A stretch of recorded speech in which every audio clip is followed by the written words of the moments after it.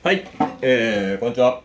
本日ですね、えー、本日ですね、というか本日も、えー、22SS の、えー、新作の別注ですね。本日ご紹介するのは、えー、3型ご紹介させていただきます。はい。いきます。はい。まず一つ目、こちらです。じゃん。じゃん。ブランドがですね、えー、こちらです。サイドスロープですね。サイドスロープの 22SS の別注になります。で、えー、サイドスロープといえばですね、いつも、えー、SS のシーズン、去年と一昨年、まあ一昨年からお取引始まっているんですけれども、去年一昨年って、えっ、と、シルクティー、えっ、と、去年の在庫ね、まだあるんですけど、えっ、と、シルクティーを作って、えー、もらっているブランドさんなんですね。で、今年も、その、シルクティーを作ろうか、すごく 悩んだんですけど、まあ、まだ在庫があるっていうのももちろん、えー加味しつつなんですけど、ちょっとね、新しい、えーものを、えーご提案したいなと、えー思っていまして、でですね、まあ、これは完全にトレンドとか、全く関係なく、僕の、ただ、えー気持ちの問題なんですけど、まあ今も履いてる通り、まあ好きにですね、えー今年、すごい、えー履いていきたいなと思ってまして、で、その、まあスキニーに合わせられるようにっていうことで、まあこのシャツもね、まあオーバーサイズのものを作ったりっていうのあるんですけど、えっと、シルクっていうのは、まあ基本的に、こう皆さんの多分イメージの中で、えーまあ綺麗だったり、えー上品。まあ同じか。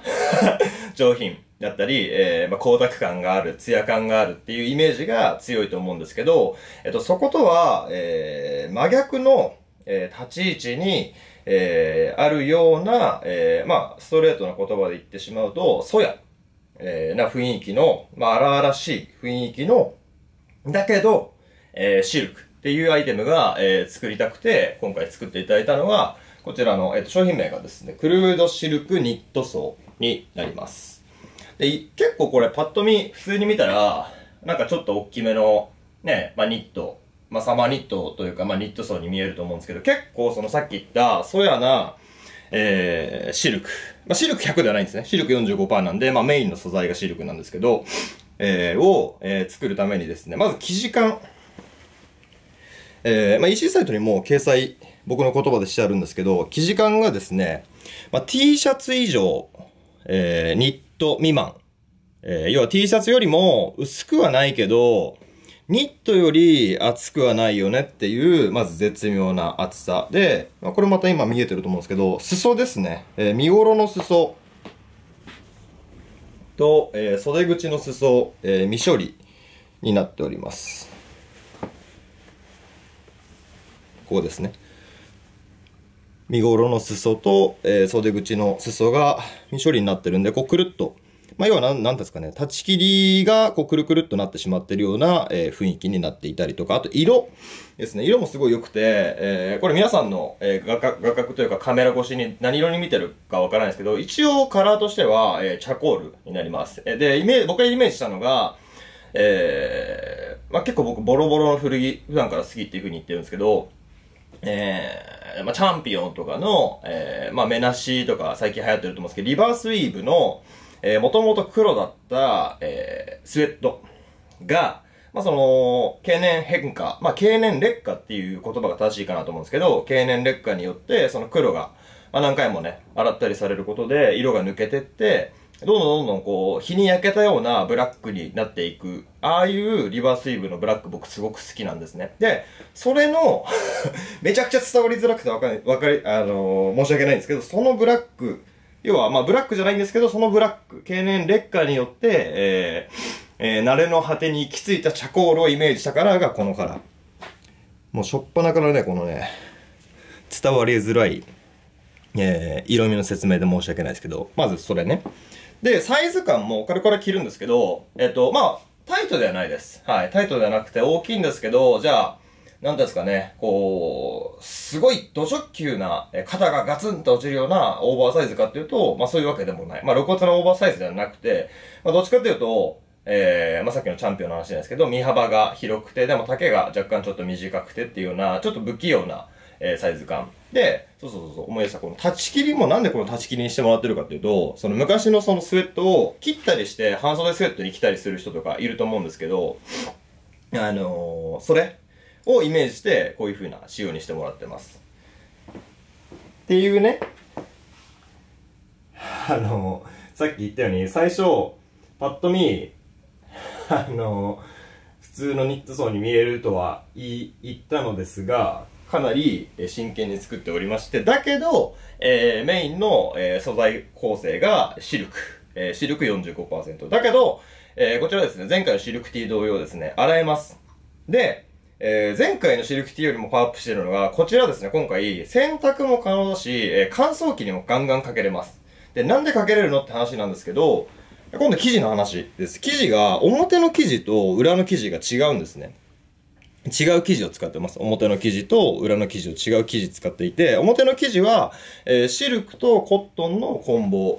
で、シルクに関してはトリプル A ランクっていう、まあ、一言で言うとめちゃくちゃいい、えーランクのシルクと、えーオーガニックコットンの混紡が表に使われてます。で、裏ですね。裏が、えーソロテックスっていう特殊な素材が使われてまして、まあこれ詳細ソロテックスが入ってるとどうなるんやって話は EC サイトに詳しいこと書いてあるんで、それ見ていただければいいんですけど、要は、えー形状記憶、えー要は伸びたり、えー肩が突っ張ったりとか、あとはその、洗濯とか乾燥機かけても、えー形状を損なわないよっていう機能がソロテックスには使われてるんで、それを、えー裏地に入ってると。っていう、その機能だけ聞くと、すごく、えー、なんですかね、ハイスペックな機能に、あー生地に思えるんだけども、このそやな雰囲気感をシルクで出しましたよというのが、えー今年の SS 皆さんにご提案したい、まあ、シルクのトップスになります。はい。で、えーサイズがですね、フリーサイズ、こちらのワンサイズになっていて、えーお値段が税込みで3万9000円となっております。はい。だからね、パッと見普通なんですけど、かなりね、こだわっております。で、今からちょっと来ます。えっ、とね、カバンね、まだ、えー最後に紹介しようと思います。ね、ちょっとね、5分袖ぐらいなんで、寒いと思うんですけど、我慢して着ようと思います。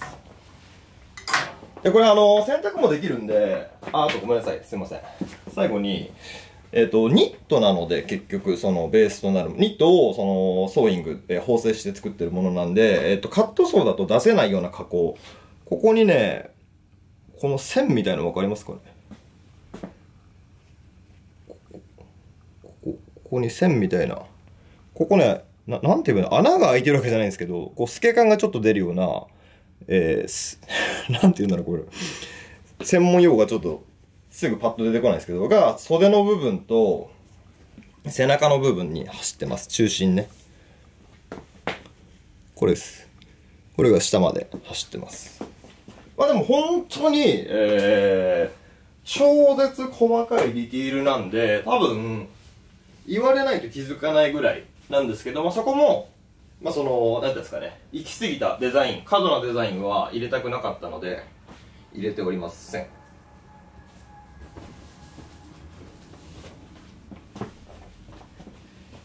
じゃん。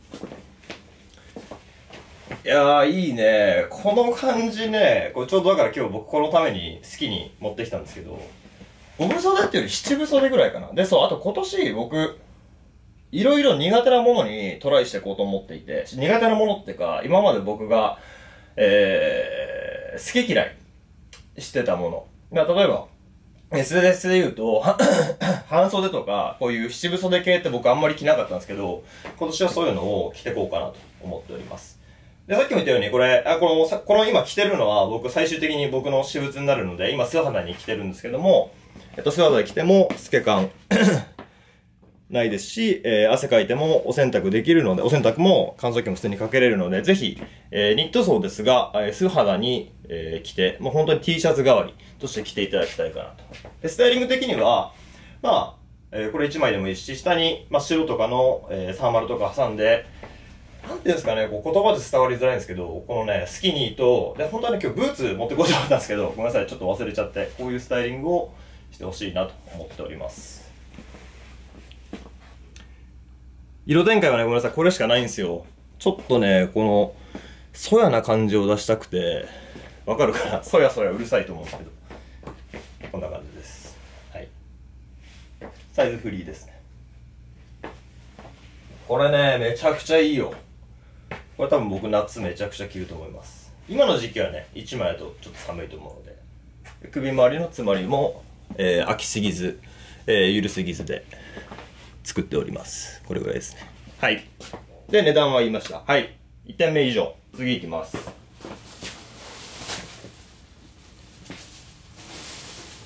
じゃん。次、えーブランド。まあですね。えー、前回の AW で言うと、パファージャケットを作った、えーブランドさんですね。の、今回は、えっと、パンツを SS で別注していただきました。で、これも、至極、えーシンプルな理由です。えっと、シャツアイテムが得意な、えーデザイナーさんなんですけれども、じゃあそのシャツを使ってパンツ作ったらどうなるんやっていうもうめちゃくちゃ単純な、えー理由。だから、えー商品名がシャツパンツっていうもうストレートな名前です。で、えっ、と、色味ですね。さっきの僕着てた、えーアルテリアの別注、このイエローもそうなんですけど、ちょっと黄色系というか、明るいっぽい雰囲気のカラーが、えー、着た、今年着たいなっていうのが気分の一つにあるのと、もう一個は、えっ、と、チェック僕すごい好きなんですけど、こじゃれたチェックよりは、えーこういうね、ちょっとダサい、えー、稲体、小ダサいチェックがやっぱり僕は好きなので、結構な、えーシャツ生地、えーまあ、無地もそうですし、柄とかこういうチェック柄もたくさんあったんですけど、まあ、その中で一番、えー今季の僕がグッときたなっていうのが、この生地だったので、この生地、このシャツ生地で、えーパンツを作っていただきました。いい色なんですよね。この、えっ、とね、そう、タータンチェックか。タータンチェック。すぐ忘れちゃうんだよな。こういう色です。ベージュ。ベースがね、白じゃなくてちょっとベージュっぽい、えーベースになってるんですけど、いいから。で、それを、えー、ブランドが定番で作っているアーミーパンツがあるんですけど、そのアーミーパンツの、えー形に乗せて作ってもらったと。で、裏しっかりは、しっかりというか、えっ、と、あんまり厚すぎると、あの熱くなって着れない、着れ、えー着づらくなってしまうと思うんで、薄い、えー裏地を裏貼ってるので、シャツ生地なんですけど、え1枚で着ても、あ、1枚で着てもっていうか、まあ、SS のパンツなんで、1枚で履くと思うんですけど、えー透け感はないです。はい。で、ウエストがドローコードついていて、ですね、ドローコードついていて、で、後ろですね、シンチバック2つついてるので、えー、まあベルトなしでも多少の調節はできるかなと思います。サイズはフリーサイズになっております。で、お値段が、いくらだっけ ?3 万9000、えー、3、万、えー、3万9600円かな。はい。お値段が税込み3万9600円になります。はっきり言います。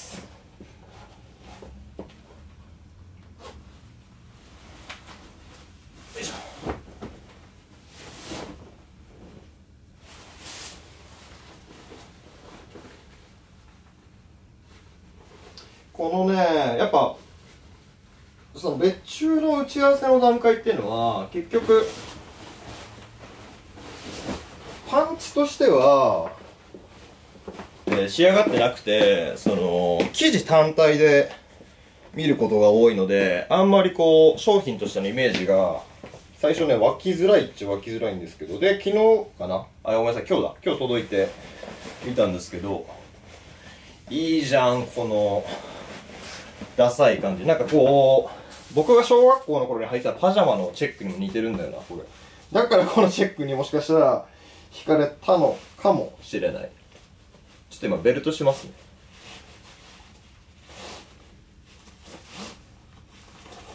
で今時期これ履けないことはないんですけど、ちょっと寒いかな。今履くとは、履くのは。だけど裏を返すと、えー暑くなってきた SS 本格的なシーズンにはかなりぴったりかなと思います。いいね。はい。フリーサイズです。このストンとちょっとストレえっ、とワイちょせね えっと神々。えーちょっとだけ太い、えーワイドのストレートの落ちるような感じ。めちゃくちゃいいじゃん。サイズフリーですね、できれば気持ちというか僕の気分的にはえー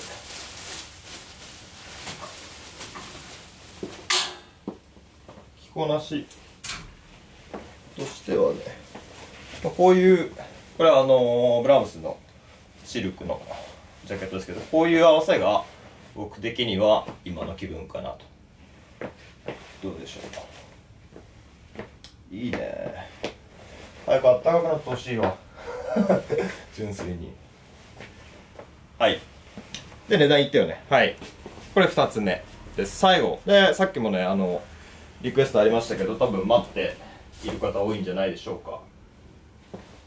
ナイスネスの、えー別注のバッグですね。ロジャー W を最後にご紹介しますこちらです。じゃん。じゃん。じゃん。でこちらはですね、あの、インラインを、えっ、と、別の、えーお店さんとかで、えー見ている方だったら、まあ、大体のことはわかるかと思うんですけど、えーナイスネスの、えーグローブレザー、鹿革を使って、えー新型の、えーまあ、ナップサックにもなるし、えーこういうハンドバッグにもなるようなカバンっていうのが、まずインラインにありました。で、えー素材、えー形、一切変えてません。だそこはもうインラインと、えー一緒です。じゃあどこを変えたんですかっていうことなんですけども、えー2箇所変えております。えーまあ、どっち側を持ってというか、どっち側を表向けにしてもらってもいいんですけど、まず片面ですね。えーナイスネスのこの N のパッチが、パッチっていうか、えっ、と、パンチングのレザーがついてるんですけど、わかるか？わかりますかね？で、それの真ん中、ここ、わかるかな？一直線に、またパンチングが増えてるんですよ。わかりづれい。この、YouTube の。あ、今わかるかな？この真ん中に、わーってパンチングが増えてるんですよ。わかります？ここ。で、これで、要は、えっと、ナイスネスの N と、僕のお店の、えーわがままの頭文字の W が真ん中に線をパンチング入れることで、えー共存することになったと。で、それを、まずオリジナルのパッチを作ってもらったのが1点と、もう一つは、えーインラインポケットついてるんですけど、えーボタンとか一切ついてないです。インラインのものに関しては。で、それに対してそこに、えー僕がいつもあの、あれですね、えー、ジュエリーのお直しとか、えーシルバーのパーツとかを、えー作るお願いをしている工房さんがあるんですけど、そこに、要は、ナイスレスではなくて、僕がその工房さんにわざわざお願いをして、えー作っていただいたシルバー925ですね。えーシルバー92、シルバー100%の、えーボタンを、えーここに反対側のポケットのフラップの部分につけていただいたというのが、今回の別注仕様になっております。で、しかもね、これ僕はあの今日届いてびっくりしてすげえ嬉しかったのが、このボタンの縫い付けって普通クロスだと思うんですけど、わかるかな？ちゃんと N になってるんですよ。わかります？普通ボタンって多分こういう風に縫うことが多いと思うんですけど、こう、こう縫われてるんですよね。N、N。こういう、こういう縫い、こういう縫い目で、このボタンが止められています。映るかなじゃん。です。それ以外は一緒です。はい。だから、まあ、そのボタンの工賃分が、えー、インラインに載ってるんですけど、でも、そのボタンもかなり、工房さんが頑張って、えー、お値段を抑えて作ってくれたんで、えー、このプライスで作ることができました。はい。で、商品名がロジャー W で、お値段が税込み8万5800円かな。税込み8万5800円になっております。で、使い方が、まずナップサックとして持つのは、あ、まあ中見せるか。中は、えー、こんな感じ。裏の、えーヘリンボーンかな。ヘリンボーン柄の、えーコットンの裏地がついてます。ヘリンボーン柄の黒の、えー裏地ついてて、で、内ポケットですね。1個ついてます。ちょっと映んないかな。ここね。ここに、内ポケットが1個ついてます。ここですね。内ポケット。ここ。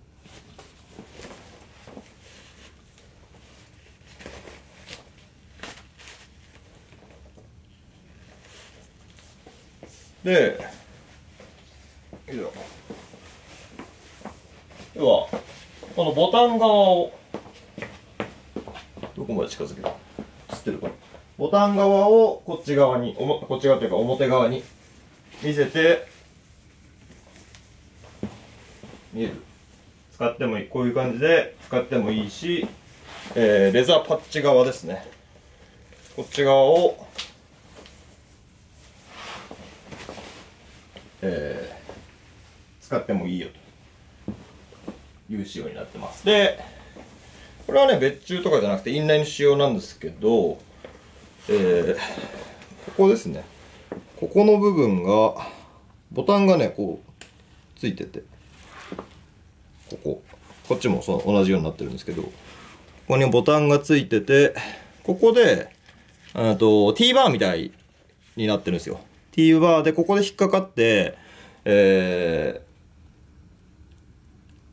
ー、なんだえー、ナップサックみたいに使えるんですけどこの T バーをこう外してもらう。T バーが外れるんですね。あでしかもこの T バーがインラインは確かこれ黒えー、真鍮、真鍮というか、えっ、ー、と、金、ゴールド、真鍮のゴールドだったんですけど、これはあの、ボタンの金具が、こっちのシルバー925の方がシルバーなんで、それに合わせて、えー、インラインとこれ多分ね、違うはず。これインラインね、多分ゴールドだったと思うんですけど、こっちはシルバーになってます。で、これを両方とも外して、